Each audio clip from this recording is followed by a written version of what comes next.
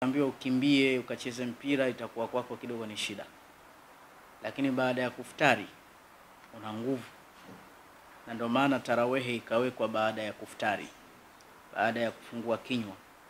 Sehemu ya kwanza hiyo. Sehemu ya pili, kikiingia mwilini kinachambuliwa mpaka kikaonekana kile ambacho hakihitajiki, basi ndo pale mtu hujihisi kufanya haja. Hichi kinatolewa, makapi hayana kazi, kishachambuliwa vitamini zote, kishachambuliwa protini zote, afu kinatoka nje, wanga wa aina zote ushatolewa, kinatupwa nje, hakina faida tena. Sehemu ya tatu, kinaenda kwenye reserve katika extra tank, tenki la ziada la kuhifadhia chakula, na hapa kinawekwa mfumo wa mafuta. Store hii kwa mwanamke ni kubwa, ina mirija mingi ya kuhifadhia chakula hicho. Kwa mwanaume ina mirija mitatu, ina mirija michache. Sasa basi, chakula hiki faida yake kusindikwa kwa mfumo wa mafuta, faida yake ni nini? Faida yake yawezekana ukapata dharura ya safari. Ukipata dharura, chombo kikaharibika siku mbili siku tatu, huwezi kufa kwa njaa bila ukakaa bila kula na kunywa ukafa eti siku hiyo hiyo. Waweza ukachukua mpaka siku tano, lakini mwanamke akachukua mpaka siku saba. Wanasema wale wavuvi, chombo kikileta shida kikaenda mrama katikati ya bahari kikashindwa kurudi, basi wanaume wote kwenye jahazi watakufa kwanza, afu baadaye ndo wafe mwanamke. Kwa hiyo Mwenyezi Mungu Subhanahu wa Ta'ala ametuwekea akiba kwa dharura hiyo, usife kwa njaa ya siku moja. Ndio maana tokea asubuhi mpaka sasa bado hatujafuturu, lakini hatufi, hatufi kwa sababu akiba hii bado ipo. Lakini sasa saumu inaingiaje kuleta afya, kubaki na njaa? Kwa sababu hiki chakula ukila asubuhi unaweka vitamin, unaweka wanga, unaweka protein, akiba inaenda kule mchana ukila unaweka akiba, usiku ukila akiba, utakachokula chochote akiba. Sasa ukila ndani ya mwaka mzima utapata kama siku mia tatu na sitini hivi, kila siku unaweka akiba akiba, inafikia sasa hakitumiki kile, ile store inakuwa full. Ikiwa full, kile chakula, ule mzigo uliopakiwa unapenya, unatafuta sehemu ambayo si sahihi. Miongoni mwa sehemu ambayo si sahihi, kinazunguka kalbun, kinauzunguka moyo na moyo ukianza kuzungukwa unasukuma damu sasa kwa shida, na moyo ukisukuma kwa nguvu haurudi pale pale, huwa unatanuka, ndio unasikia mirija ya moyo imeziba, ndio ukamsikia mtu anatafuta dawa a, ambazo za kuyeyusha mafuta katika moyo. Kwa hiyo moyo kuzungukwa na mafuta ni kitu kipo kabisa, mpaka mtu akaanza kupata shida za presha, kukosa nguvu, kupata ganzi, kwa sababu moyo haufanyi kazi. Hata jana nilikutana na ndugu yangu e, katika Adam, yani ni, fundi wangu huyu, alinifundisha fani hizi za kitaalamu. Aka nikamkuta akanambia ana tatizo la moyo, si Muislamu, ni Mkristo. Ana tatizo la moyo kiasi ambacho miguu inakuja inakufa ganzi kabisa. Ni kwamba hana mapumziko katika kula chakula. Sasa sisi hapa au hali ilivyo, moyo ukishazungukwa na mafuta ndo zinaanza shida hizo, moyo mkubwa, moyo kutanuka, moyo na tundu, presha ya kupanda, presha ya kushuka. Sasa Mtume sallallahu alaihi wasallam alivyoona yote haya akasema tufunge tupate uzima, kwa sababu pale unapokuwa umefunga asaumu, pale unapokuwa umefunga saumu, pale unakuwa asubuhi hujala, unaanza kutumia ile reserve iliyokuwepo kule, ile hakiba mwisho mafuta yananyonywa, yani ile akiba. Miezi kumi na moja ulisindika chakula, mwezi mmoja tu unaanza kutumia ile akiba yako iliyokuwepo store. Sasa ndio maana unakuta hata watu wenye vitambi, miili inaanza kurudi chini, vitambi vinaanza kurudi nyuma, unakuta inasaidia jambo kama hili. Kwa hiyo ni kweli kupitia saumu tunapona sana, tunapona. Hata wale watu wenye aleji nyingi za vyakula, mtu uso wake umeharibika kwa sababu ya vyakula mwisho kabisa unamkuta anapata nafuu ikija mwezi wa Ramadhani. Kwa hiyo tufungeni tupate uzima. Wale ambao si Waislamu husema tufanye diet, tupunguze kula mchana, usile kula mara mbili. na hii kula kutwa, kutwa mara tatu katuambia nani eh, kutwa mara tatu hakuna kula kutwa mara tatu sisi hatuli mpaka tuwe na njaa sawa lakini sisi tushazoea ah, mchana lazima nile ushakuwa na njaa hiyo kula kula hovyo ndo hakutakiwi. Kwa hiyo watu wafunge wapate uzima. Inshallah khair tumepata faida na hadithi hii. Jambo la pili jambo la pili nataka nielezee dawa mbili nne sita. Nataka nigusie dhufu ljinsia wal amradhu la qima. Nizungumzie kwa kifupi tu udhaifu wa tendo la ndoa kwa wanaume na naweza nikagusia pengine kwa wanawake kwa sababu wanawake nao wanahitaji ni jana mtu mmoja alinipigia simu akasema mke wake eh, hajawahi kuhisi ladha ya tendo la ndoa. Hii ni shida kubwa sana, hii ni shida kubwa sana. Tukija upande wa kina baba kuhusiana na enshu ya tendo la ndoa, wanasema tatizo hili ni janga la dunia nzima, sio tatizo la nchi ya Tanzania peke yake. Maana Tanzania tatizo hili lipo, Waislamu tatizo hili wanalo, wasiokuwa Waislamu pia wanalo, viongozi wanalo, na hata wasiokuwa viongozi. Kwa hiyo tatizo hili Kenya lipo, Uganda lipo, Marekani lipo. Ni tatizo la dunia, sio tatizo la sehemu fulani peke yake.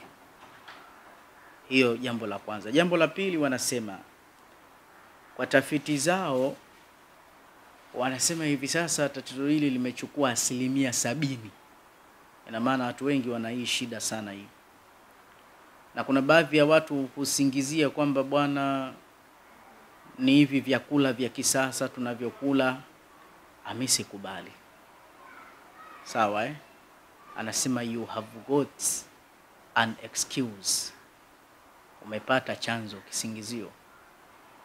Don't offer an excuse, usitoe sababu kama huna uhakika. Tatizo siku hizi mtu tayari kashakuwa naye ni daktari, anajua kujihukumia tu kwamba bwana, vyakula makuku ya kisasa haya. Wanasema makuku ya kisasa. Mimi nilisafiri, nilisafiri kama miezi, nilienda mkoa wa Tabora, nilienda kufanya dawa na dawa kipindi cha nyuma, nikafikia hoteli moja, nishaisahau jina lake. Hii ni hoteli ya kisasa, lakini nashangaa bwana, hakuna hawakukuwa kizungu. Yule shekhe nani kipozewa anawaita kuku taahira hawakukuwa kizungu hakuna. yani. hoteli nyingi za mikoani ni kuku wa kienyeji yake, sababu mikoani ndo wafugaji. Kwa hiyo hawa kuku wa kisasa kisasa hakuna. Lishangaa hoteli kubwa, lakini kuku wa kienyeji, kuku super. Hilo la kwanza. La pili, mimi ninazo dawa hizi za kina baba, na hii ni bidhaa kubwa, so inahitajika na wengi. Usishangae wewe unaitwa darsa na wewe unahitaji dawa hii, lakini mimi sihitaji. Sawa eh? Katika watu wanaoagiza na watu wa mikoani ambao wanakula freshi sana, watu wa mikoani kula chipsi chipsi ni aghlab. Mayai mayai ya kizunguzungu haya hakuna yaani vijijini ugali kwenda mbele. Yaani mtu wa kijijini ukimleta hapa ukaanza kumpa wali wali wako akuelewi. Yaani kuna watu bila ugali. ya- Mimi nilikuwa kuna zamani zamani ilienda kundi kutoka Dar es Salaam eh, khuruju fi sabilillah, kundi ya tablighi ilikuwa Singida huko, najua tena kule vi, viazi kufuturu viazi tu mpaka vinatia kiungulia. Sasa siku hiyo kwenye ukisema dastikan lugha ya Kihindi eh, yani ile maida iftar, kitu kinatandikwa chini kwa ajili ya kupata riziki. Sasa watu wamekaa muda mrefu bila kutarazak, basi pakaletwa mchuzi. Sasa watu wataka kufuturu, ule mchuzi unanukia mashallah eh, basi kwa, kwa taratibu za, za chakula mtakiwa mfike kwe chakula kabla ya chakula, kwa sababu nyinyi ndio wahitaji wa chakula. Chakula hakikuhitajini nyinyi, kwa hiyo mfike. Ni makosa watu mnakiweka chakula hapo kwanza king'ongwe na mainzi. Fikeni nyinyi, afu kikiletwa mpate kuomba dua, Allahumma barik lana fi ma razaktana wa anta e khairu raziqin. Sasa watu walivyofika wanaona michuzi. Sasa ile dua inazungumzwa kwa mori, Allahumma barik lana fima razaqtana. Hiyo watu wapenda kula. Sasa ile michuzi kwa mbali vikawa vinaletwa vitu vyeupe vyeupe, watu wakajua silesi hizi za mikate, sema hapa ah, simple hii, lakini ukipiga inashuka. Watu wa Dar es Salaam wapenda vitu we, kumbe magharibi hiyo amiri wa kundi kaleta ugali bwana, tena wadona muda wa kufutari we nilisikia mmoja alisema inna lillahi, watu wote wa inna ilaihi rajiun. Watu baada ya kukifesi chakula, kila mmoja kaangalia pembeni, kanuna. Ambia amiri, ambia vipi, inna lillahi ya nini hapa? Akaambia ni haram kabisa, imesemwa kufuturu ugali Ramadhani nzima. Amiri, we katili, utaka kutufuturisha ugali? Haya, haramu hiyo kaharamisha nani? Yule amiri akasema, nyie mnasema hivi na wakati wenzenu sahaba wamekula mpaka majani. Mmoja asema, shekhe, mimi si swahaba, nipe hela zangu nipatiwe kundi jengine. Yaani pale tu tafrani, kundi likaharibika. Na wakati mimi nilimpata mtu mmoja wa mkoani, lakini asili yake Kongo, kipindi nakaa Kiwalani, yani tunakuja. Siku hiyo tumepika futari tukamuudhi, hataki futari. Kila siku alikuwa na futuru kwangu ugali tu, tena wadona, wallahi ladhim, ugali tu. Kwa hiyo watu wa mkoani wanakula vitu freshi, lakini wanatuagizia sana hizi dawa hizi, japokuwa mwanaume yeyote huwa haridhikagi hali yake, lakini kuna wengine ni maradhi na mtu anasema mi sijiwezi. Na haya maradhi tu, kwa sababu siku hizi kuna social media, inaonekana hata zamani yalikuwepo sana tu. Inaonekana yalikuwepo. Sasa leo nitaka tuelezane kwamba hili tatizo mpaka sasa limeshika kasi ya asilimia sabiini. Ukiwapata wanaume kumi, ukiwapata wanaume kumi, sisi hapa tuko 2 4 6 sawa, hapa hatufiki kumi, tuko tisa, waongeze mmoja tuwe kumi. Basi wanasema ukiwapata wanaume kumi, wanaume saba wote wagonjwa. Sijui tafiti ya sawasawa sawa hii lakini sisi hapa wote wazima. Sasa wote saba wagonjwa, watatu ndo wazima, watatu ndo wazima katika uh, uh, sihatul jasadi zao, katika nguvu hizi za kina baba. Sasa hili tatizo linasababishwa na vitu kadhaa, tutavitaja, alafu pia kinga yake ni kitu kadhaa, alafu baadhi ya dawa kadhaa ambazo zinasaidia kweli, insha Allahu taala tutazitaja mambo yawe kwa ufupi tu insha Allah. Miongoni mwa alama za kwamba mtu anapata upungufu wa nguvu za kiume, kila kitu kina dalili. Macho ya kifa yana dalili yake, moyo ukianza kuwa na maumivu na dalili zake, ulcers. Lakini dalili za nguvu za kiume watu hawazijui, na ya reti wangezijua, wangejifunza, wangechukua tahadhari, wangechukua kinga kabla ya tiba, kwa sababu kinga kabla ya tiba ni bora zaidi. Dalili ya kwanza ya mtu ukosefu na mnyemelea wa nguvu za kiume, dalili ya kwanza kabisa ni mtu kufanya tendo la ndoa, lakini hana hamu ya mahusiano, hana hamu ya aljimaa, mujamaa, ile hamu ya kuseksi, lugha kali kidogo, hamu ya mapenzi hana. Kwa hiyo anaenda tu kama kumridhisha mwenziwe pengine ana mke zaidi ya mmoja, akajishtukia kwamba pengine wakamsaliti, lakini hana tena mwingine mpaka akumbushwe, baba fulani vipi. Anasimama vizuri tu katika ibada yake hiyo, lakini ile kufurahika haipo hiyo habari. Hii ni alama mbaya ya kwanza ya mtu kuishiwa na afya yake hii. Lakini alama ya pili ni mtu kwenda kufanya tendo hilo, lakini akatumia muda mrefu bila kufika safari yake, au akashindwa kufika kabisa. Wako baadhi ya watu mpaka anasema akitoka hapo mwili wote unamuuma. Ah, utafikiri sijui ametumia dawa gani zile za mtu kuchelewa, anafikiri kama katumia dawa kama hizo, yani anakwenda muda mrefu, lakini ha, hapati spam, hapati kabisa. Hii pia ni katika alama mbaya ya mtu kuishiwa na nguvu za tendo hizi.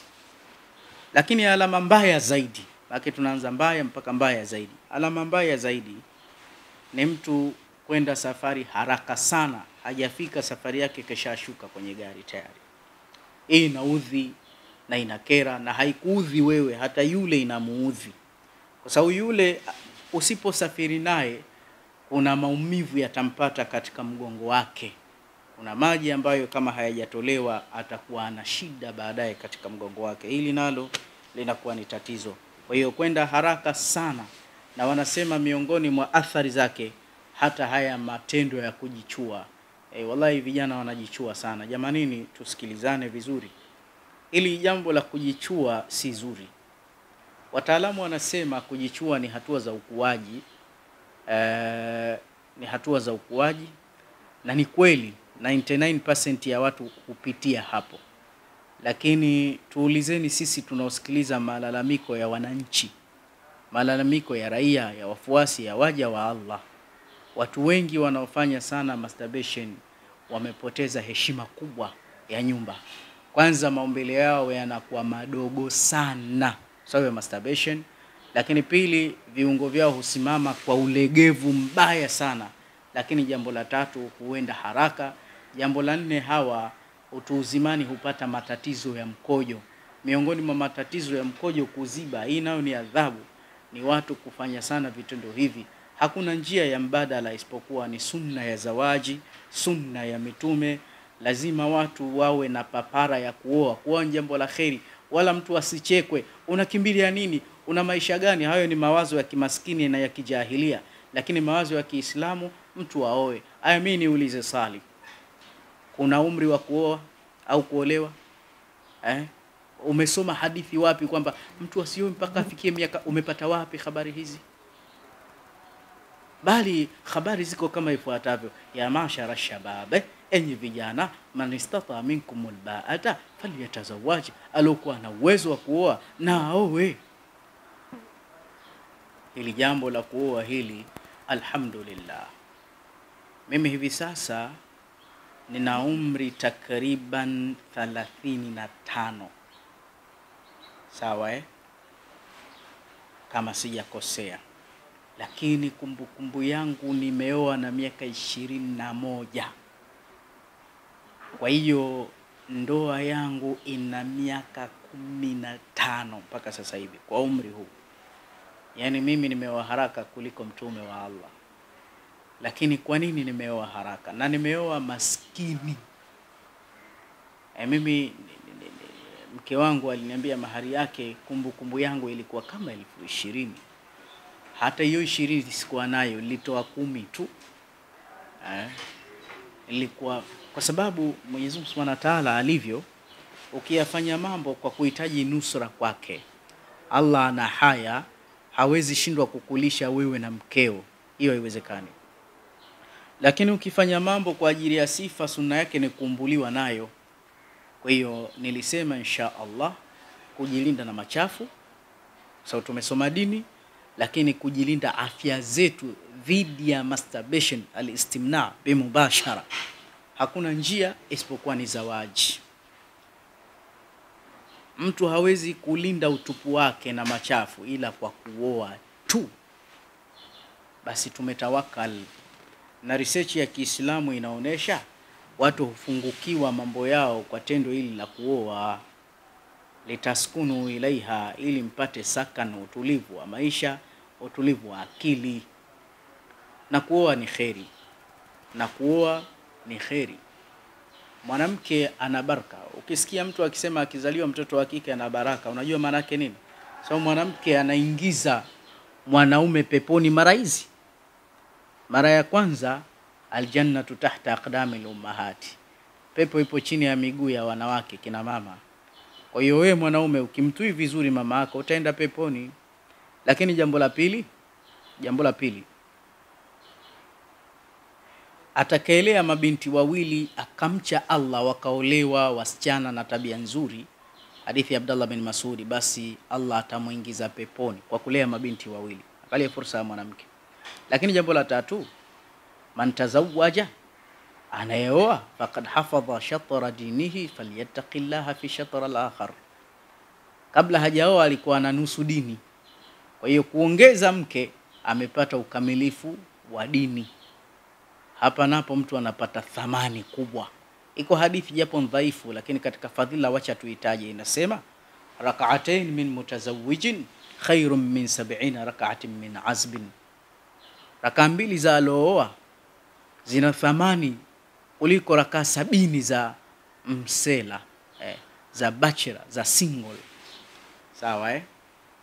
Kwa hiyo miongoni mwa kuhifadhi afya ni kuoa kwa haraka, hakuna njia nyingine.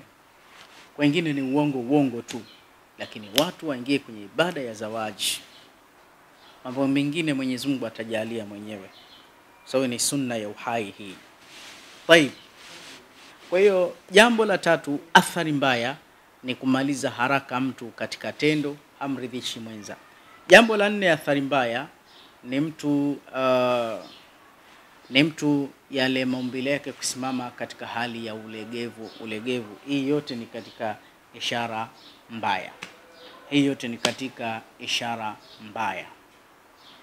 Kwa hiyo kutokamana na, na, na, na, na uhalisia huu, hizi dalili ni nyingi, tena si kidogo, ni nyingi sana sana sana, lakini wacha tukomee hapo, kwa sababu niliunganisha na kipande cha saumu tukomee hapo ili kusudi maudhui hii isiwe ndefu ikawa ni yenye kuwachosha watu. Nitoe tu tahadhari, alafu nitoe na dawa yake. Miongoni mwa tahadhari, ili usipatwe na tatizo hili, jitahidi tisu saati au sabu saati, ulale masaa tisa au ulale masaa saba. E, mtu ambaye analala muda mwingi anajitunza nguvu za kiume. Mtu ambaye anamisi usingizi anaingia hatarini. Usingizi ni tiba, usingizi ni afya kwa mtoto, hata kwa mtu mzima. Kuna watu hawajali usingizi, kazi wameweka mbele zaidi, lakini afya ni rasilimali. Kwa hiyo jichunge sana afya yako kabla sakamika, kabla hujaanza kupata maradhi. Jambo la pili, jitahidini sana kunywa maji. Angalia Ummu Ismail Hajara alaiha salam pamoja na Sena Ismail, wallahi, baada ya kupata mtihani wa njaa, Mwenyezi Mungu aliwaletea maji ya Zamzam. Kwa hiyo pia mtu itakiwa anywe maji kwa wingi, hasa hichi kipindi ambacho tunafunga, watu wanywe maji. Mtu ambaye daku anakunywa maji mengi mchana anapitisha akiwa na siha na afya. Kwa hiyo pia maji kwa wingi unywe, afya yako itaimarika. Lakini jambo la tatu, jitahidi sana kula vyakula freshi kula vyakula freshi, epuka vyakula vya halawa vya tamtamu mwanaume, vya sukari kupitiliza. Hivi vinapoteza pawa yako ya nguvu ya kiume. Lakini pia punguza kasi ya kula vyakula vya mafuta na vya kemiko, pia vinakupotezea. Lakini pia jitahidi kusali na kutoa sadaka, kujikinga na jini mahaba. So jini mahaba pia naye anafelisha e, istidadi ya mtu kumtosheleza mke wake. Kumbuka hii ni ibada lakini pia ni starehe yako na ni haja na ni hoja. Usipomtosheleza mwenzio, pengine ukaja kuulizwa juu ya hili kama atakwenda mrama. Lakini pia miongoni mwa taathira, jitibu sana tatizo za, la ulcers, vidonda vya tumbo, diabetes, tatizo la akili la, la, la, la, la, la, la sukari pamoja na, na, na moyo. Hivi vitu hivi pia vinavuruga sana sukari, moyo pamoja na ulcers, vinapunguza sana nguvu za kiume. Jitahidi ili tatizo na yote hayo, walillahi alhamdu, ukijitibia yanaondoka. Jitahidi na epuka vitu vinavyoleta ulcers, epuka vitu vinavyoleta diabetes, epuka vitu vinavyoleta BP, matatizo ya moyo, jiepushe navyo. E, maalasafi shadidi, vijana wadogo unakuta wana matatizo ya nguvu za kiume, japokuwa kitaalamu wanasema hili tatizo athari zake linaanzia miaka thelathini na saba mpaka miaka arobaini na moja mtu anaanza kupata matatizo haya, lakini kuna watu wamejiweka vizuri, wamejiweka kisunna. Unamkuta mtu anaelekea miaka tisini lakini bado huyu azaa. Nakumbuka mimi nilimpata mtoto wangu, sijui ni mtoto wangapi, nishasahau, mchanga hivi sasa, nafikiri ana, ana, ana, ana, ana miaka kama miwili. Siku aliozaliwa ninaye kipenzi changu, rafiki yangu, mtu mzima ana miaka mia na kitu, ni muadhin. Siku anazaliwa mtoto wangu, naye kapata mtoto wa kike. namwambia shekhe, nimepata mtoto, ambia hata mimi nimepata. Ni babu akisimama mpaka miguu inatetemeka hivi, kasa asala la la haula wala quwata. Lakini babu karekebisha, anaambia tena nazaa hapa, na kipindi hicho anamia, ana watoto ishirini na nne mzee mmoja mashallah wa Kizanzibari ame bado nazaa maalim, ng'ombe haziweki maini. Kasema subhanallah, si mchezo, si mchezo. Watu wengine ndo kama hivyo. Afya ni kitu muhimu sana. Natamani niendelee kuvitaja vitu, lakini basi naanza kuchoka. Unajua miezi ya swaumu, nikupe vyakula fresh, ukivila hivi inshallah itakusaidia sana kuwa mahiri katika tendo. Chakula cha mwanzo, jitahidi kula matunda ya komamanga. Komamanga linaongeza pia pawa kwa wanaume, lakini jitahidi sana kula tunda watermelon, batihun, tikiti maji, hasa zile mbegu zake, linaongeza mambo hayo. Jitahidi kula samaki huyu aina ya pweza, ile supu yake pia inasaidia kuongeza kwa kiasi kikubwa sana. Jitahidi kutumia vitu kama hivi, lakini mbegu za maboga hizi nazo pia zinasaidia, lakini tunda la avocado, parachichi pamoja na asali, hivi ni vitu vinasaidia kwa kiasi kikubwa sana, na vingine mfano wa hivyo.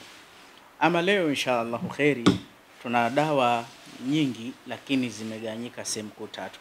Kuna dawa kwa ajili ya nguvu na kuna dawa kwa ajili ya uzazi na kuna dawa kwa ajili ya, ya, ya maumbile pamoja na kuchelewa. Hivi dawa ya maumbile hali yumkin inawezekana kweli? Aya, wacha tutajua hapo mbeleni. Kwanza tuanze na dawa ya, ya, ya, ya, ya, ya, ya, ya Power of Men, powerful jinsia. Dawa hii ilianza kuchanganywa vitu tisa baadaye vikawa kumi na moja, hivi sasa ni vitu kumi na tatu na vitu vyote ni vitu hatari. Sijui kama nitakumbuka vyote. Ala rasihim haba sauda, cha kwanza ni haba soda, ambao haba soda Kiswahili kisunna inatibu maradhi yote kasoro uzee na umauti. Haba soda inaondosha upara. Haba soda e, e, e, e, inaongeza eh, nini hii CD4 kiasi ambazo zikiwa juu mtu anakuwa na nguvu, pia anakuwa mzuri katika tendo. Haba soda ikichanganywa na asali, pia mtu mwenye maradhi haya ya kisasa ananufaika sana, angalau kuongeza siku zake. Kitu cha pili, kuna asali ndani yake. Asali ni mjumuisho wa miti hata zaidi ya milioni duniani. Asali inatibu ugunga, ugumba. Asali in, in, inatibu kiungulia. Asali inasaidia uzazi, lakini asali inaongeza damu, inaopandikiza pahala hakuna nyama ikaleta nyama. Asali ni shifaa, ndani yake iko asali. Imetajwa ndani ya Alqurani Alkarimu, lakini ndani yake kuna vitu kama hulinjani ambavyo vinatibu chesti. Kuna kama karafuu eh, ambayo karafuu hii inahifadhi kiwango cha joto mwilini, ina iliki, ina zanjabil, ambayo zanjabil inaongeza vitamini B complex kusababisha mishipa takriban mia na themanini kufanya kazi kwa wakati mmoja. Ina vichanganyio vingi, tutachelewa sana. Hii hapa, hii kazi yake ni kuongeza maji ya uzazi wa mwanaume, lakini pia pamoja na kuimarisha misuli yake na kumtia hamu mtu katika tendo. Hii ni tiba mpaka ya prostate, ngirimaji ile busha lile. E, kuna mtoto mchanga siku hizi watoto wanazaliwa na, na prostate. Na mtoto alizaliwa, watoto wanazaliwa na, na hemorrhoid. Shai kumwona mtoto maskini amezaliwa na hemorrhoid. Hemorrhoid ni ile mgoro umerefuka kama mita moja hivi, yaani inasisimua utumbo wote uko nje. E, unasisimuka na unaona huruma, unaona huruma kwa sababu ni mtoto mdogo. E, ni kumwomba sana Allah, watoto wakiugua inatia huruma sana. Lakini kuna watoto wanazaliwa na ile prostate, unakuta mtoto mchanga lakini ana ngiri analia. Kwa hiyo hizi mbegu zake mara zikapanda zote zikapotea. Hii hapa mara nyingi nawapatia watoto. Siku moja nampatia dada mmoja, anambia mwanangu, zimepanda zote, tumbo lina mguruma, analia na kile ki, ki, ki, ki, ki, kiume chake kinapotea. Nikamwambia mpe hii. Baadaye akarudisha, mbona imeandikwa nguvu za kiume? Nikamwambia imeandikwa tu, lakini ingeorodhesha yote haitoshi, mpe hii basi akapata nafuu nafuu sana. Na hii mimi nilikuwa sijui kama ina deal na prostate, nilikuwa sijui wala sijafanya tafiti hiyo, isipokuwa kuna mzee mtu mmoja akawa anakuja kuchukua, kisha tumia mara ya kwanza, anatumia tena. Alipokuja ya tatu, nikamuuliza mbona unatumia sana, kwani unatibu nini? Make mimi najua hii wanachukua kwa ajili ya watu ndani ya familia. Yule mzee asema nilikuwa na matatizo mawili, alhamdulillah yameondoka. Tatizo la mwanzo anasema siku ya kwanza nakuja nilikuwa nina mpira, mimi na tatizo la mkojo kuziba. Nilipotumia hii kaacha kabisa, ndo nikaongeza. La pili prostate, ile ngiri maji. Kwa hiyo kila wanaochukua hii si unaona ah, watu wanapenda dhofu kama nini, au wengine ni ngirimaji tu, lakini hawana mpango hata umeona. Lakini kuna watu vitu kama hivi watu hununua kwa siri, patie dawa. Tamsikia mwingine sema toa hiyo kava hiyo, hii kava itoe. Sasa wasipate tabu, inshallah nitamwambia mtu wa printer aongezee maneno, jamani, hii ngirimaji pia, maana sio kila mtu akinunua tu ana, anatizamwa macho. Mzee wa dhofu hata katika hizi media kuna mmoja alikuwa anamtania mwenzia, anamuita dhofu jinsia. Epata jina hii dhofu jinsia. Haya inshallah. Kwa hiyo hii inasaidia mambo hayo yote, uzazi, prostate, hayo mambo ya hisia ndo kabisa kabisa. Lakini hii ni chakula pia. Hii hii hii stika nimeitoa, nimeongezea baadhi ya vitu vichache, nikaiweka dawa inaitwa Afiyatul Abedani kwa sababu ya wale wasiokuwa na nguvu mwilini. Kwa hiyo wanatumia wanawake, so inaongeza maziwa na imewekewa ndani yake na maziwa ya ngamia ambayo yanazuia vitu ile salasul bauli, kichocho mkojo au mtu kukosa break ya mkojo, inasaidia. Sifa ni nyingi, isitucheleweshe dawa hii. Kwa hiyo dawa ya kwanza hii hapa ya kula tu, kulamba three times per day eh? one spoon inakuwa. Alafu dawa nyingine ya nguvu na uzazi, lakini ni ya poda. Hii hapa inaitwa Maulida. Hii anatumia mwanamke na mwanaume, nayo ni nguvu vile vile. Hasa mtu matatizo yakizidi, basi achukue zote. Lakini kuna dawa nyingine na ile Sheikh Haidari akaitolea ushahidi, hii dawa hii ni nzuri, inaitwa Mathna wa Thulatha wa Ruba, nayo ni nguvu tu. Mara nyingine mwingine hii ikamkubali au akakubalikana hii, lakini mimi nasema mtu ambaye ana shida, maana shida hii inalaza watu macho, tumia zote hizi, alafu mtegemee Allahu subhanahu wa ta'ala. Dawa nyingine hii inaieleza kwa uwepesi tu, itaeleweka. Hao watu waliofanya masturbation kofia zao zimechoka, kwa hiyo watumie mafuta haya yanaitwa Inzal. Haya sifa kubwa ni kuchelewa tu, kwa sababu kitaratibu inatakiwa ukisafiri na gari lako yani yule ahli yako as, ashuke kituoni mara tatu au mara tano, we bado hujashuka. Hivyo ndio inavyotakiwa. Yani wanaume wako wa aina mbili. Kuna baadhi ya kuna baadhi ya wababa akienda kituo chake anashuka, afu anaendelea tena na safari, anashuka mara tatu. Kuna baadhi ya watu wako hivyo, hilo si tatizo, lakini kuna mwingine anasafiri lakini anakawia sana safari yake, lakini haendi tena, pia asitishike. Hiyo yote ni sawa. Kwa kuna mwingine anachelewa kufika, lakini ile kuchelewa kwake kufika huyu keshafika kituoni, na mwingine anaenda anashuka, afu anaendelea tena na uwezo huo, na huyu naye anashuka. Kwa hiyo hawana tatizo, ni maumbile tu, ni hulkia tu. Tatizo ni huyu kukujogoo mwenzangu, huyu kukujogoo mwenzangu, maanake jogoo akipita pale, ah, washamaliza endo, ndio washamaliza. Basi kuna watu wengine wana athari hiyo, hata hajatoa nguo zake unakuta kisha safiri, na hili linawaudhi sana wakina mama, mara nyingine mpaka anakusukumia huko. Kwa hiyo pia wao wanatumia mafuta haya.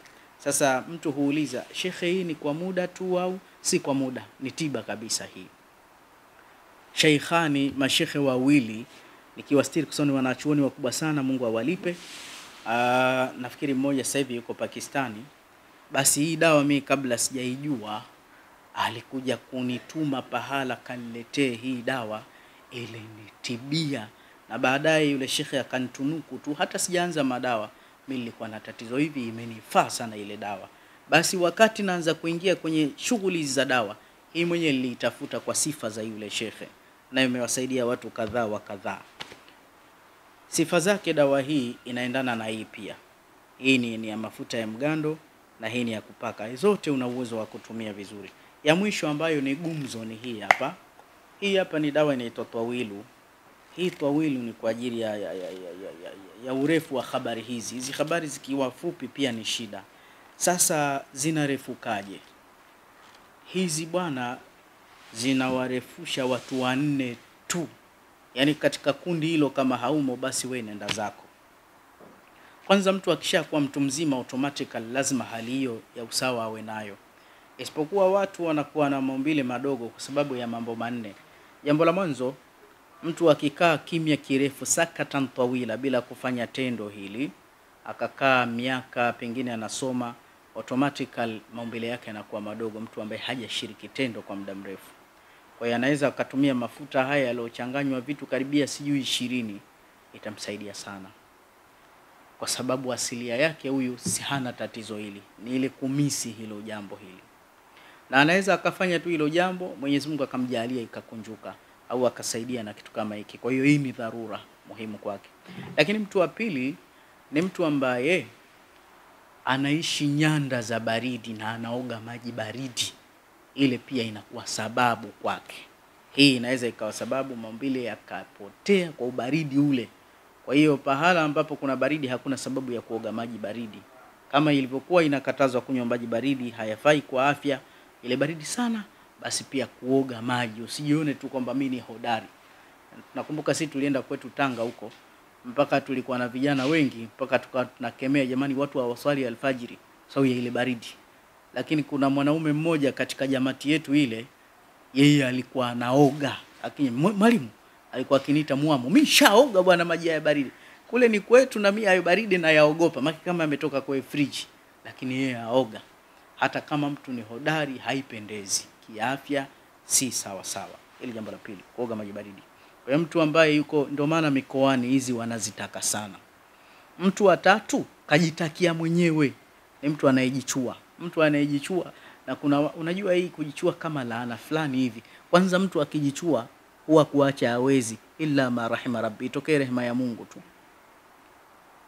Mtu anayejichua analala mchana ndani lazima huo udhaifu umtokee unamkuta mtu hata kwa siku mara sita anarudia.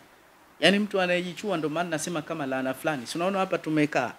Tunaweza tukawa tunaongea ya mazungumzo kulitaja hili tu tumemkumbusha anaenda. Yaani unakuwa mtumwa wa ile habari ile. Na watu wengi mimi nishakutana na wao shekhe mimi nitafanyaje ili niache ili jambo? Ni kuoa tu ndo kuacha kwenyewe. Maanake ukiliendekeza wallahi unaoa na uachi. Yuko mtu mmoja ashaoa mke lakini hawezi kuridhika mpaka amalizie na jambo lile. Hii ni hatari na huyu alikuwa ni mzungu. Sasa afya ishaathirika. Kwa hiyo mtu pia anayejichuachua maumbile yake yale husinyaa huingia ndani kwanza pia anayapeleka ndani kwa kutumia nguvu nyingi. Basi maanake unakuta mtu anafanya uchafu huo mikono inachoka. Lakini kiungo cha uzazi maskini hakisikii kwa sababu akili yake imefyatuka.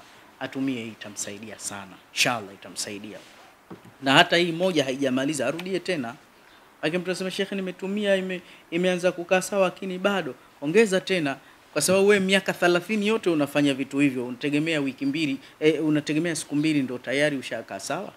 Takiwa matibabu ya ziada. Mtu wa mwisho ni mtu mwenye maradhi hayo ya ngiri maji ngiri maji pia inapoteza maumbile pamoja na jini mahaba. Vitu vitano wastani. Inshallah tukomee hapo. Nafikiri namba zinapita hapo hizo namba utapiga popote ulipo utaletewa bidhaa hizi lakini pia si si si, si aibu. Ukiwa na maradhi jishughulikie na nasaha fupi. Naomba nsiongeze nasaha fupi. Wale watu ambao wanajijua ni wadhaifu alafu wanasema hebu ngoja tu nioe itakuwaje? Wanafanya dhulma. So wanachezea umri wa mabinti za watu mabinti wanaonekana wameachwa sana. Kama we hauko sawa jiweke kwanza sawa ndoa inahitajika maandalizi na ndoa ni ibada hususan sisi waislamu tumewekewa kitu kinachoitwa talaka lakini huwa hatuamini kuhusiana na talaka. Wala hatuwani kwamba talaka ituke. Kwa hiyo watu waweke vizuri afya zao wasilete shida kabisa. Wallahu waliyu taufiq wassalamu alaikum warahmatullahi wabarakatuh